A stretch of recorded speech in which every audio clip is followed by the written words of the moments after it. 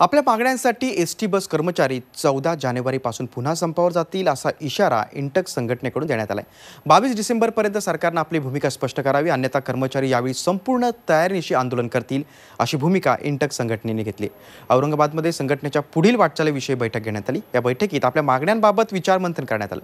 दिवाळीच्या काळात बस कर्मचाऱ्यांनी बेमुदत संप पु- पुकारला होता. आणि या बंद काळात सरकारकडून योग्य पावलं उचललं गेली नाहीत.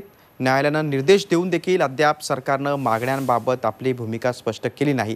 इतकंच नाही तर सरकारनं न्यायालयाच्या निर्देशांना देखील केराची टोपली दाखवली. त्यामुळे आता सरकारला जाब विचारायला जा विचारला जाईल आणि बावीस डिसेंबरपर्यंत सरकारनं भूमिका स्पष्ट न केल्यास संक्रांतीच्या दिवशीच बस कर्मचारी आपलं आंदोलन सुरू करतील असा इशाराच इंटक संघटनेचे अध्यक्ष जयप्रकाश छाजेड यांनी दिला आहे आम्ही निर्णय घेतला आहे की जर बावीस डिसेंबरपर्यंत निर्णय झाला नाही आणि सरकारने हस्तक्षेप केला नाही आणि विशेषतः माननीय मुख्यमंत्र्यांकडून आमची अपेक्षा आहे की त्यांनी या पगारवाढीमध्ये हस्तक्षेप करून कर्मचाऱ्यांना न्याय दिला पाहिजे. आणि नाही झाला तर संक्रांतीच्या मुहूर्तावरती बेमुदत संपाला सुरुवात होईल.